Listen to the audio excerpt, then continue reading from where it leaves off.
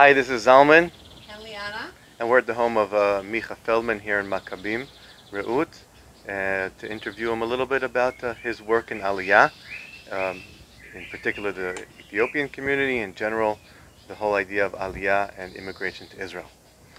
Thank you for having us. You think about Aliyah not only in the Ethiopian context but in the broader context. What does where what is the role of Aliyah today?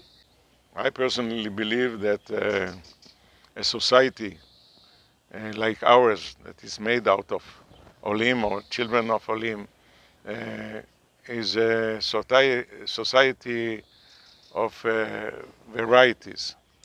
And every family that moves to Israel contributes to the, this variety with a lot of challenges, but a lot of advantages. Even professionally, you know, we always say to ourselves, think out of the box. New immigrants have another box. And all of a sudden, when we, they work in a, in a, in a team, uh, ideas come up and uh, it broadens our views of, of uh, the world, of values, and so on. So I think every family can uh, contribute and also uh, uh, get a lot of contribution from society. So it's a win-win.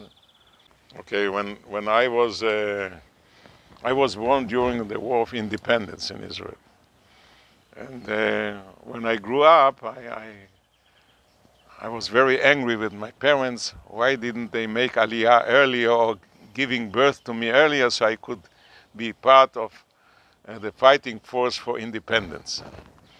Uh, so, uh, you know, with this bad feeling, all of a sudden I get the opportunity uh, to be part of this big issue of the, being involved in the Aliyah from, from Ethiopia. Uh, so uh, I think uh, this is something that everyone can, can get. And uh,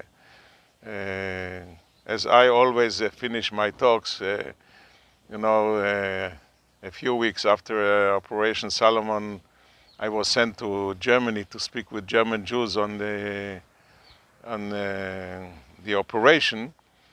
And when we arrived, the, the first day we arrived, a, a, colonel of the Israeli Air Force who flew one of the C-130s, a young Ethiopian social worker who worked with me uh, in Ethiopia, uh, we were scheduled eight, hour, eight hours after landing to speak to the Jewish community in Munich. And you know, usually Israelis go, uh, when they have some hours in Munich, they go shopping. And we decided not to go shopping and we went to Dachau. And there in Dachau, it struck us.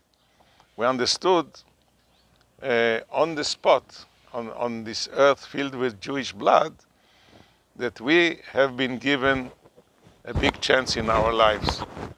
Uh, and uh, looking at the crematorium in, in, Dachau, I said to myself, you should thank God and the people who have sent you to Ethiopia because everyone uh, can read history, some people can even write history. I got my chance of being part of history making.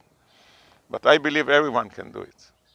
You have to open your eyes and take the chance that you are giving, given and do it.